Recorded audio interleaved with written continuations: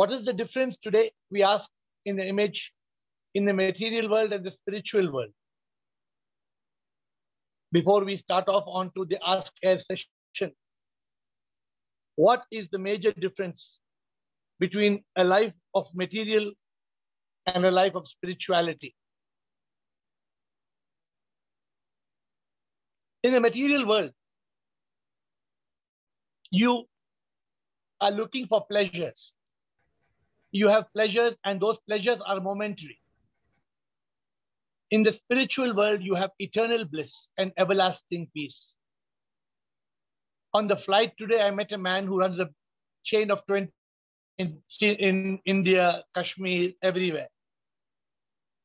And he said that I want to open more hospitals and take care of more people and give more vision. Nothing wrong. It's good. But is that the purpose of life?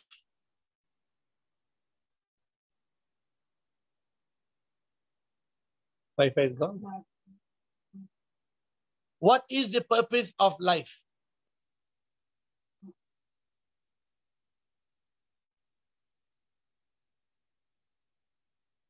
So if the if the signal goes out for a second, I will stop and come back to you.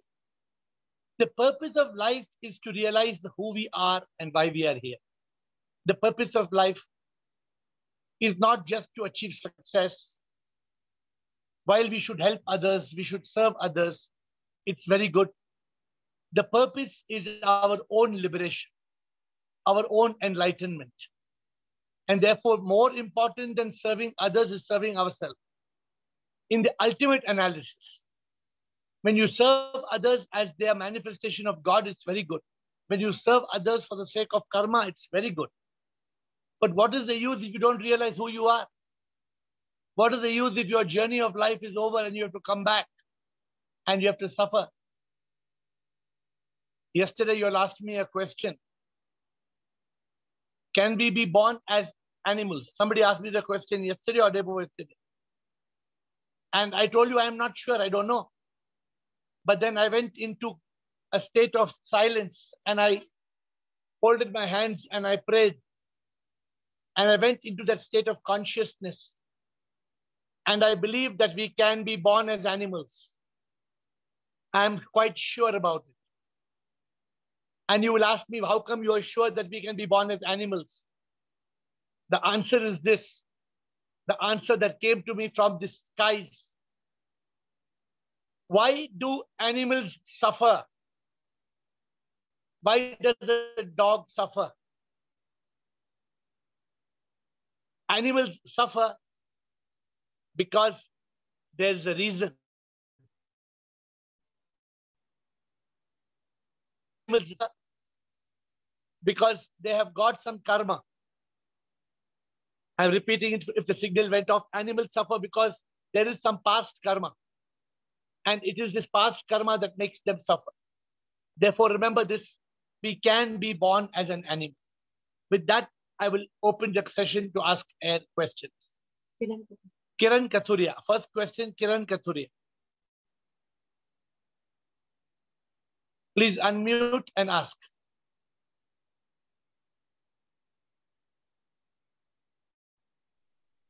Kiran Kathuria. Shivoham Shivoham Kiran. Shivoham Guruji, I want to share a thought with you. और गुरु को thought बताने से मन को बड़ी खुशी मिलती है okay when you were discussing two days back you were saying मन रे तू काहे शोर मचाए भजन में आपने सुनाया था तो when I was sitting the thought came in my mind मन रे तू काहे नदी धरे? ओ निर्मोही मोह न जाने जिनका मोह करे। मन रे तू काहे न धीर धरे? तो thought came in my mind के जिनसे हम प्यार करते हैं वो तो उसकी वैल्यू ही नहीं जानते। हमें सबसे प्यार करना चाहिए, जो गॉड है, जिस सब में गॉड बसता है। वो सब आप ही बताते हैं हमें तो ही हमें थोड़ा थोड़ा पता चलता है। And thank you so much शिवो हम नाम Guru ji thank you for sharing the Kiran but the problem is the problem exist in not just loving people the problem exist in getting attached to them When we get attached to people, we sink in the material world. And sinking in the material world takes us away from enlightenment. It takes us away from liberation. So please understand the problem when you say moha, moha na jane. So ka, kahe moha kare. If you, if you are going to be caught in attachment, in moha, that is very dangerous because that can def- that can defeat your enlightenment. So be careful about attachment. Loving is okay. Loving the God in one and all is very good. You love everybody, but don't get attached to anybody. Next Thank question. you. Thank you. Surinder Goyal. Thank you, Kiran. Surinder Goyal.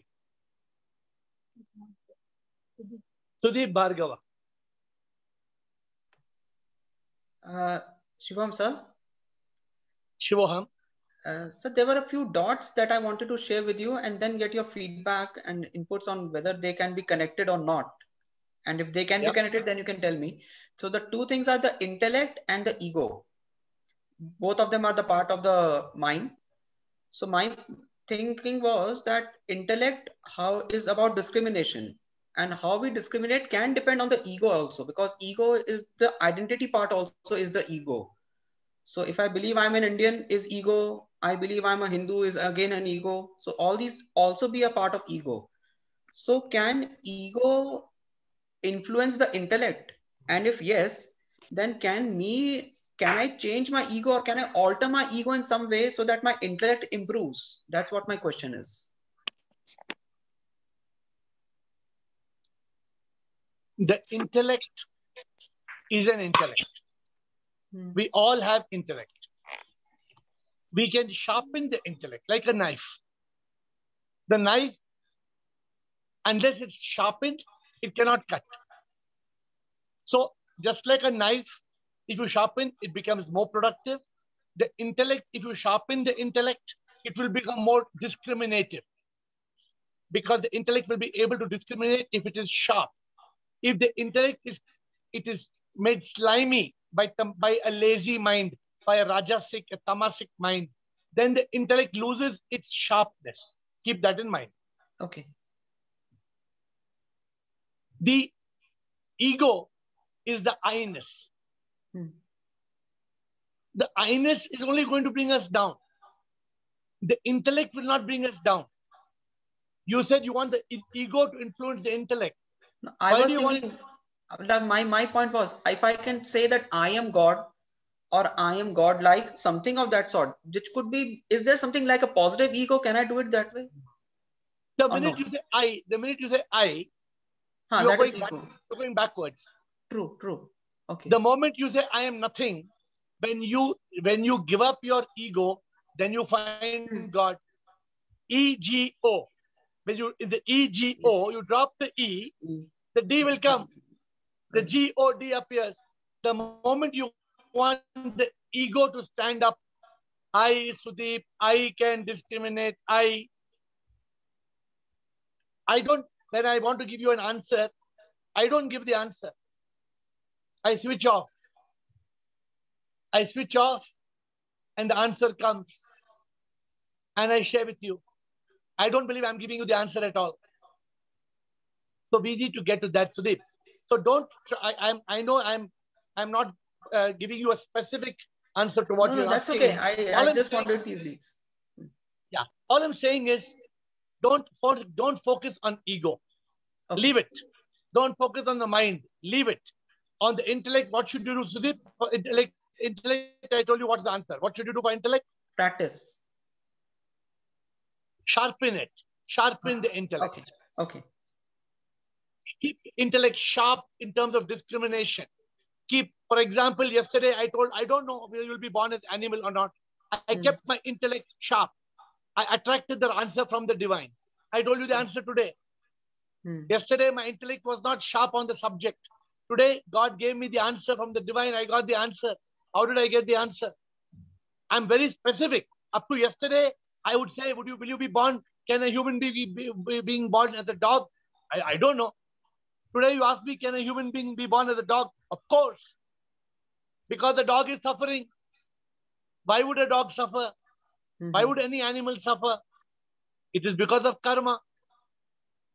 The answer is very clear. The intellect became sharp. So my answer to you, focus on discrimination of intellect. Focus on consciousness. Leave the ego and the mind. Leave it. Okay. So just one more question that I had, very small question. Yeah, yeah, go ahead. Since your transformation from RVM to air, Yeah. are you still using that table that you have kept in your office for Lord Shiva and you put your problems into it? Or now you realize that Shiva is inside you so you can take care of it? I know that he will solve all the problem, but I don't know. I don't need to write a, on a sheet of paper anymore. That's the difference. So now you do it through consciousness. Okay. Earlier you needed a paper, a pen, and a table More and a a drawer. physical thing. Now you don't need that. Okay. Okay. Thank, Thank you. you, sir. Navjot. And will- if uh, if Surinder Joy- Goyal comes back, he can join. Navjot. Shivam, sir. Shivoham Navjot. So yesterday I was going through the Rig Veda. Yeah. Rig Veda states that karma is not individual, it is collective. Loudly, please. Loudly. Rig Veda states Yeah. that karma is not individual, He's not individual.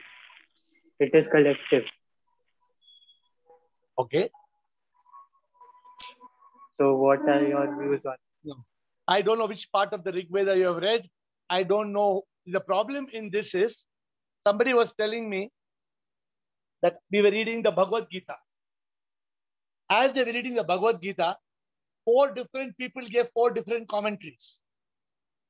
So what is the right, what is wrong? So I don't know which Rig Veda, because in Rig Veda, they, I don't believe they can say the karma is collective. Karma is not collective. Karma is, but I want to see which part of Rig Veda. So send the message to me and let me understand whose documentary this is, whose commentary this is, and then. Because Okay. karma is collective. Karma Okay. is individual. Okay. Thank you. Next question. Who is Shivam Master, Amitash Shivam. this side, sir. ah, Amitash? Bolo. Uh, so my first doubt is uh, if we do good, if we do good, uh, then uh, will we get? Uh, if we do good first thing, and second different thing is uh, enlightenment, then uh, will we get heaven? If we do good, will we get heaven? Is that your question? If we do good, will we get heaven, right? Yes, yes, yes. If you so for what do you understand by heaven? Is heaven like is heaven like where I'm sitting Jannat in Kashmir? Are you saying like this? That uh, uh, are you talking about this Jannat which uh, I was showing you all before? Yes, yes, yes, Master. Like gardens and uh, enjoyment, everything. If you do good, you will get good in the material world. If you are enlightened, you will evolve in the spiritual world. There are two different subjects. The first subject is doing good by body, mind, and ego. You will be born in heaven on earth. You will not go to the skies in a spacecraft. The body, the body will die, and all people who do good actions will come back in a new body and experience heaven on earth by being born in a beautiful life, like gardens and what you're saying, being born in a beautiful family, a wealthy family. But if you do bad deeds, you'll be born blind, you'll be born, born suffering. That is not the goal. The goal is to, then we will come back again and again and again. The goal is liberation. The goal, enlightenment means that we are enlightened with the truth, that we are the ruh, the atma, the soul, we are the divine spirit. We are liberated from the cycle of death and rebirth. We are liberated from all misery and we become one with the Almighty. That is the goal. Uh, okay, Master. I understood, Master. One uh, small doubt. Uh, second is, um, is is being rich or poor pre-written, and can we change it if it is our Rich or poor what? Is being rich or poor pre-written as in destiny, and can we change it? Being rich or poor, you can change it by your present karma. And it is also written depending on your past karma. So the answer is both. So, for example, one man, he did nothing. He's born and his grandfather is a multimillionaire. Why? Because of his past karma, it's written for him to be born in his in a Maharaja's house. But he may become a beggar. That is with his own actions. In his own action, he can become a beggar. But a man, it is o- out as per pre-written, re, uh, predestined. He may be born as a beggar, but he may become a millionaire because of his present karma. So we can change our condition through karma. Thank you, Master. Amitash. Understood, Master. Thank, Thank, you. thank you, Harsh. Next question from Harsh. Shivam, sir. Sir, Yes, I Harsh. think I think just like wave particle duality, we also have dual nature. That is, we are body when we are in a state of suffering, and we are soul when we are in a sta- state of ananda. Do you agree? no. Uh, you cannot, it's a good analogy, but it's not like that. You can be in a body and you can be Ananda. Because if you realize the truth and you are enlightened, you don't have to always be suffering. It is not necessary that every body is suffering. Of course, eventually a body will get diseased, it will die, it will get old. And the soul the soul is always in ananda but there is no duality you, you use the word duality there is no duality Du- duality means two duality means one and two two that's the meaning of duality But suffering and There is ananda no duality. only.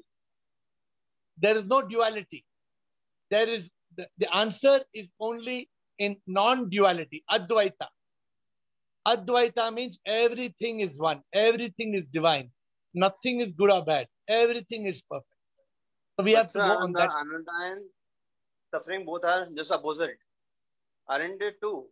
No, suffering is an illusion. Suffering is Maya. Suffering is Mithya. Suffering is only because of your ignorance. The moment the ignorance goes, where is the suffering? You are suffering because you are thinking that the dream is real. But when you realize that it's all a drama, then there is the suffering. There is no suffering. Thank you, Harsh. Next question, Bridget. We have a few more questions. Bridget's question is how to be not attached to people and things that you love. Bridget, you can love people, but you can remain detached by realizing that the people you love are none other than you. You, me, we are all part of God. Therefore, if you say, I suppose one person says, I love you, and I don't love you, that means it is ignorance. That means that particular love is not, it is not spiritual love. It is just, it is a possessive love. It is a material love. It is a love of the body to body. That means love must love must flow to one and all. So when you said uh, the question once again that when we when we love somebody, any question how to not be attached by realizing that my love for that person is not real. My love for that one person is only superficial. Superficial means only for the outside layer. You have to love the soul within. Then you love everybody. When there are two ways, either one person say, I love you. That is not spiritual love. That is material, that is the physical love. That is love of the material world. In the love of the, in the spiritual world, you will not be attached. Because you realize we are all one. We're all one energy. We appear different.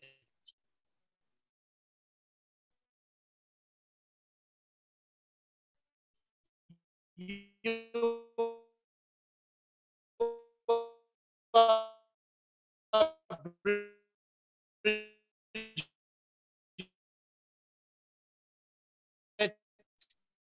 is Ashok Chotwani, is Gautam.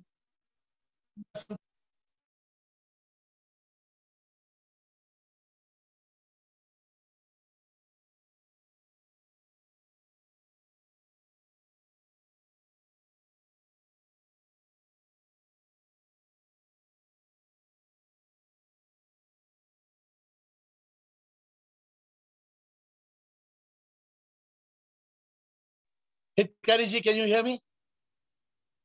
Okay. So, Bridget, any more question, Bridget? Bridget, are you okay with the answer? Bridget. Okay, next question. Vignesh. So next question is from Vignesh. Sorry, I have turn. no understand. You know, Bridget, no understand. I have to repeat the answer. I no understand because I the signal went I, go. try, I try to explain quickly one more time. You can hear me, right? How to Yeah. be not attached to people and things that you love by realizing that the people and the things you love are like a dream. Suppose I fall in love with somebody in my dream. There was there was a prince. You can hear me, right? Hmm. There was a prince, and he fell in love with a princess in a painting. He wanted to marry only that princess. I will not marry anybody else. When they went to search, when they went to search for the princess, the queen did like because the princess, the princess was the painting of the prince when he was a small boy. They made him like a girl and they painted. So how can the prince marry himself? Because the painting was of himself.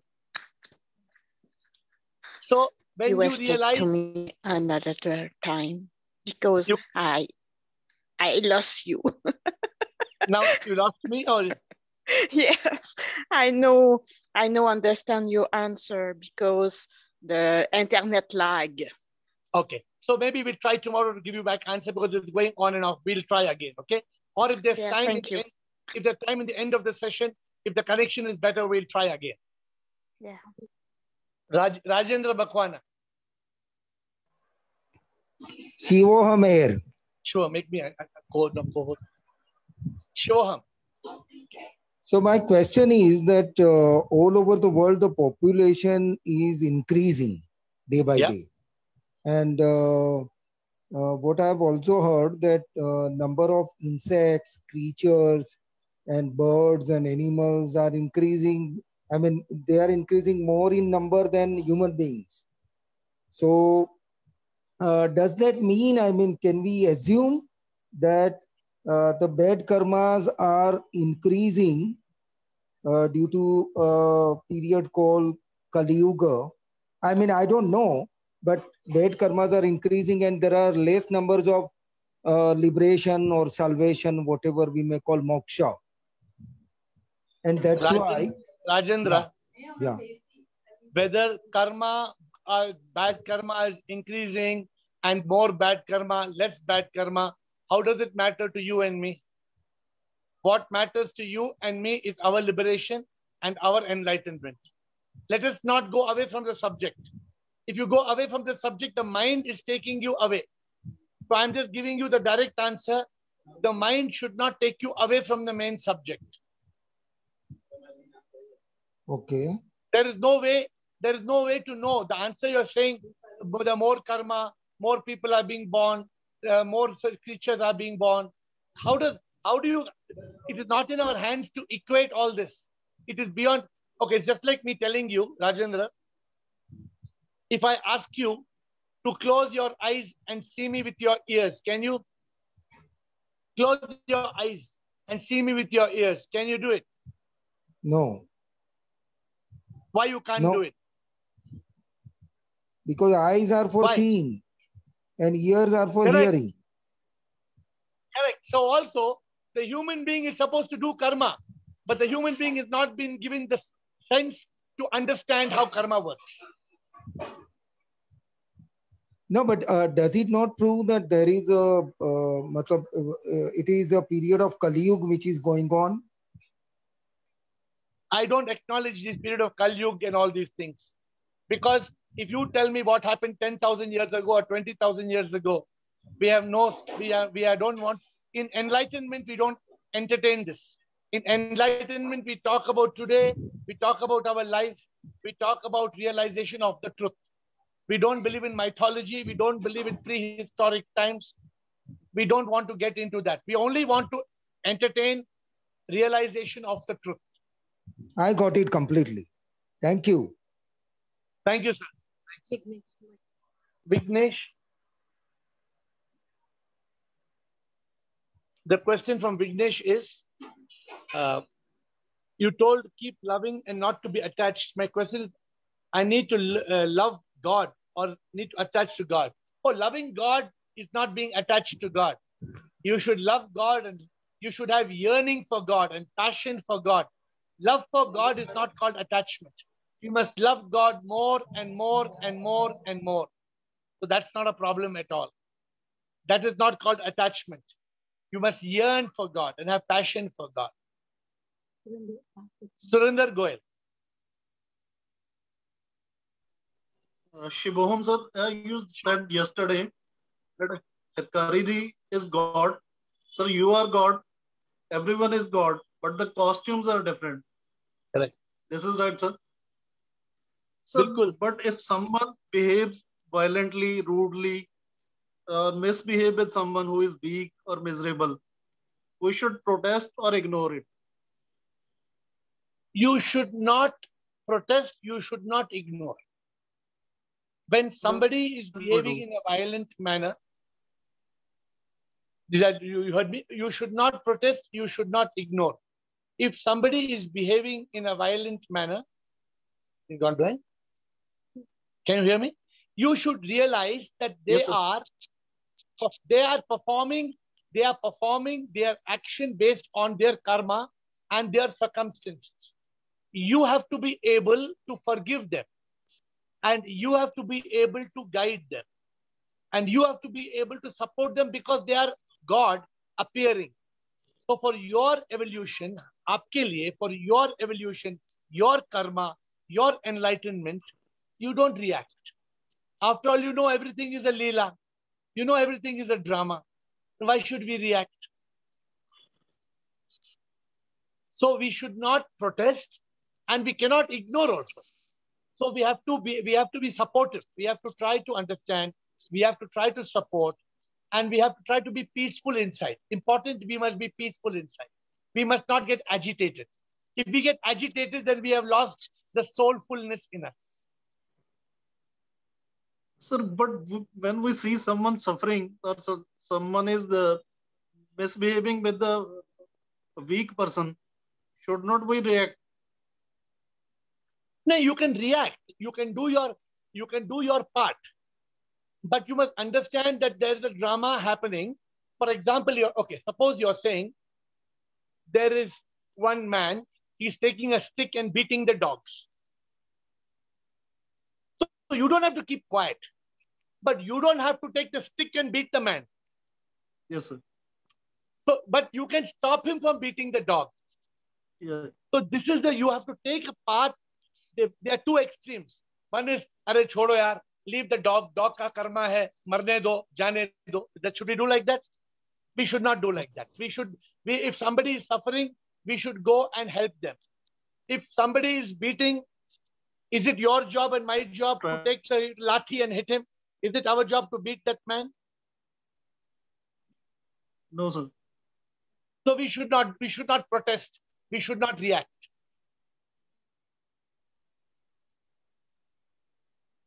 Okay, Surinder? Okay, thank you, sir. Thank you. Thank you, Surinder. So unfortunately today, uh, the, the line is not so clear, but I would like to try, Bridget, uh, Bridget gave a question.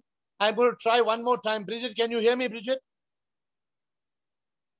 So the question you asked me, which is a very interesting question, and I will try to attempt that.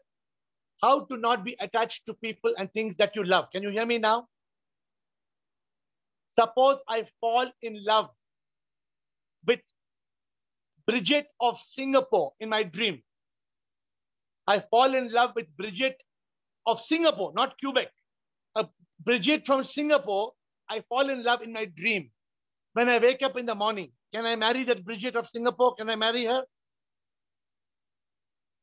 Because it was a dream.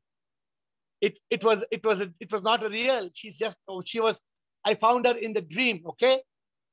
So when you get attached to somebody, you must realize. You ask the question: If you when you are attached, ultimately you will suffer. Suppose you are suppose two people are attached. Will the relationship break or it will be permanent?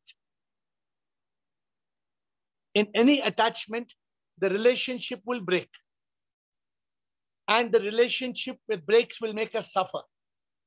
Therefore, there are many uh, there are many answers.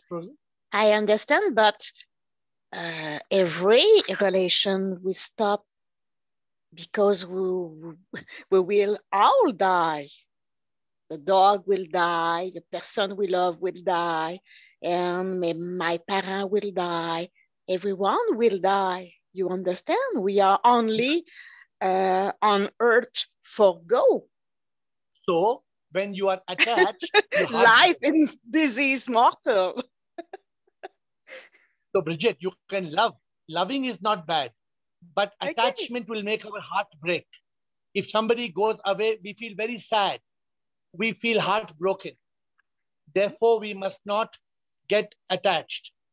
I was telling you, a, I was telling you a story. A prince got attached to a princess. He wanted to marry a princess in a painting. In a painting, but the the queen told later on to the prince, "This this painting of this princess whom you want to marry is you. When you were a baby boy, I made, I made you like a girl and I made a painting. Now you want to marry the painting, the girl in the painting. How can you marry the girl in the painting? Can the prince marry him himself? So this is to make us understand that attachment, any attachment will break. Any attachment will break. Therefore, the realization, when you realize I can love, but I must not be attached, then you will not be attached. Then you will have detached attachment. You will love people, but there will be no attachment. I hope uh, finally we got the answer. I hope. I will. I will but go read convinced. about the topic because I'm not sure to understand everything, but I will read about. Thank you so much for your answer. and we will, but I will try to, when the line is better, I will try to explain it again the next time if possible. Yes, thank so you with, so with much. that note, thank you. With that note, uh, I apologize for the connection being up and down, but sometimes it's like that. Thank you one and all. And hopefully tomorrow we will have a better connection. We will try to have a better connection. I thank you all. God bless.